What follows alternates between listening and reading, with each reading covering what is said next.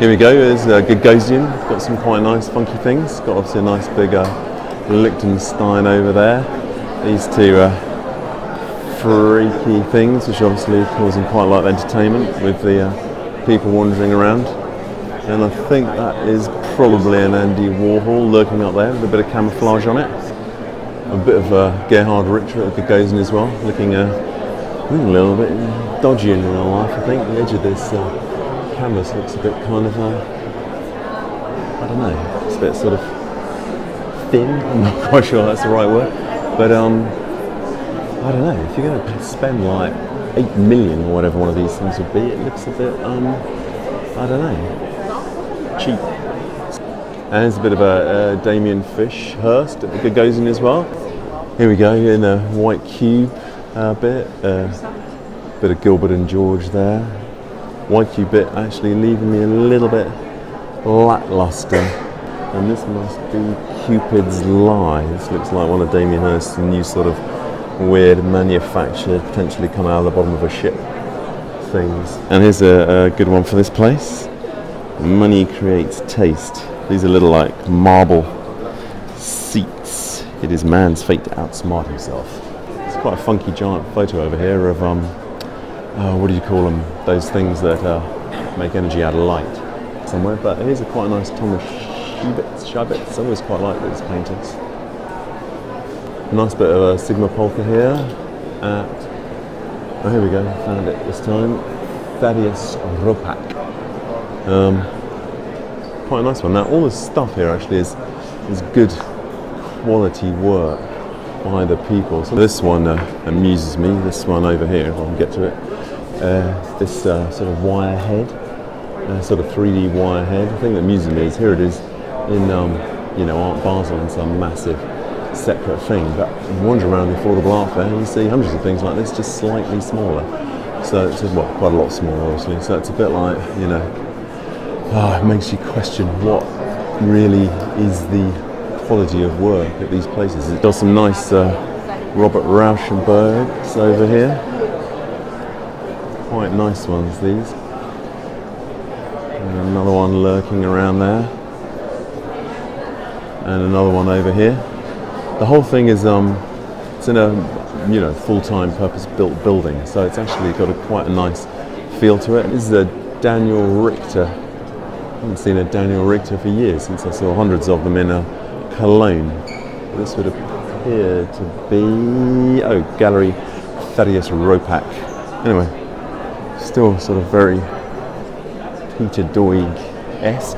What I always love about these high-end art fairs is there's never any sense that anybody's ever going to buy anything. All the transactional thing is kept to a minimum. There's just a few slight wooden tables with people chatting about things.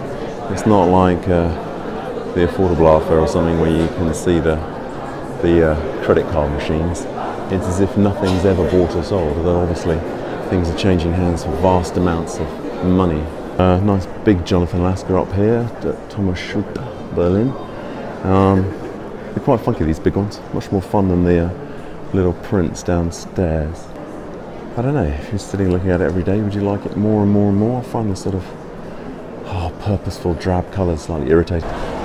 So if you escape outside, this is the uh, outside uh, sort of balcony bonanza area of this uh, gigantic uh, craziness. One of those uh, Philip Gustons when he was still doing the abstract stuff before he um, did all the other crazy things. It's actually really, really nicely painted. Actually, lots of really subtle, different colours in it. It's actually a really cool, cool painting. He's one of those guys. Um, name I've absolutely forgotten for the second. Sean Scully.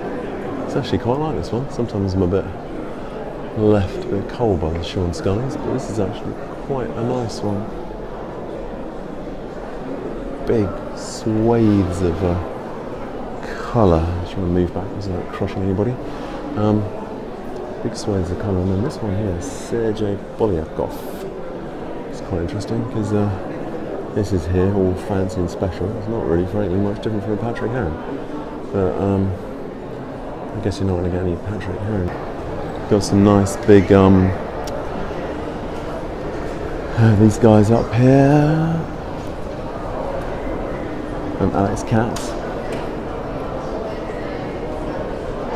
Quite funky big ones here. Stand out really nicely uh, in the art fairs. Well, they did at the last Frieze actually. They stand out really well.